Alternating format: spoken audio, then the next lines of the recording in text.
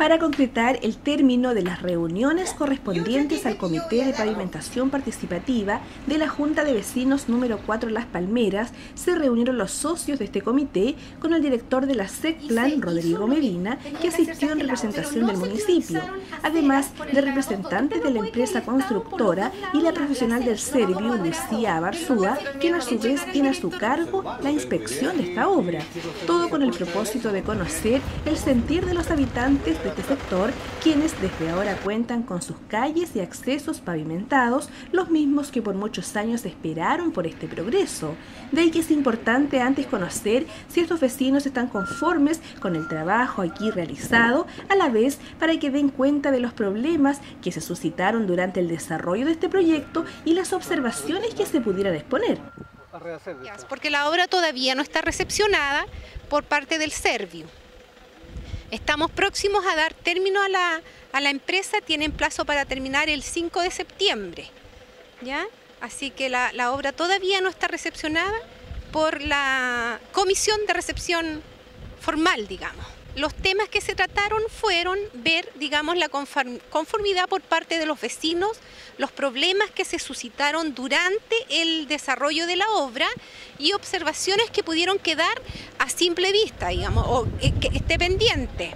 Y se trató el tema de eh, rellenar un poco más el, veredón que queda entre las viviendas o entre el área verde hasta llegar, digamos, al, al muro.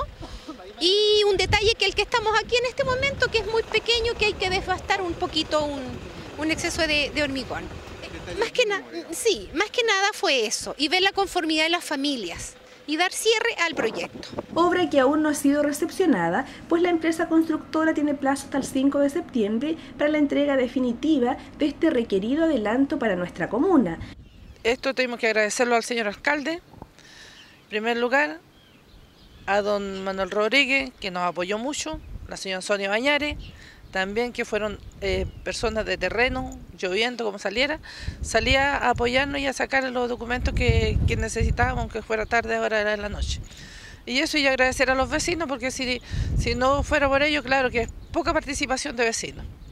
Eh, ellos piensan que, y ojalá que con las otras organizaciones que se formen, no ocurra lo mismo. Siempre tienen que estar todos los vecinos dispuestos a participar en las reuniones porque si les queda mal o algo, después no ganas a reclamar porque no, no estaban presentes cuando había la oportunidad de hacer las observaciones que correspondían. El que sin duda va a significar embellecer este sector, que es la puerta de entrada a nuestra ciudad y en donde muy pronto se comenzará a ejecutar el flamante proyecto Parque Costanera. Darle las gracias a la gente que, participó de este proceso, a la, Junta de Vecinos, a la empresa y al Servio en este caso, que, que aporta los, recursos eh, para poder ejecutar este tipo de obras. Eh, la única forma que tienen los municipios como el nuestro es, a través de postulaciones de pavimentos participativos. Por lo tanto, es importante que la gente, cuando llegamos a un sector y queremos eh, realizar este trabajo, que participe, que haga el aporte, cuando corresponda hacer el aporte, se, haga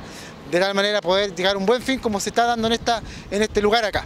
Así que contentos porque se termina con un proceso de pavimentos participativos eh, en este sector Estamos también como municipio trabajando ya en el, próximo llamado de este año para la calle 21 de mayo, así ya se están haciendo las diligencias, juntando las firmas, hemos tenido reuniones con la gente del sector, así que día a día seguimos avanzando, ¿cierto?